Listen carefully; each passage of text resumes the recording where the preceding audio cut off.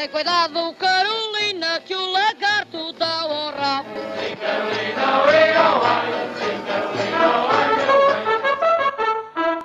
Enquanto o resto da Europa se debatia numa guerra incruenta, a festa jubilar de Portugal oferecia a todo o mundo o exemplo da nossa disciplina e da paz que soubemos merecer.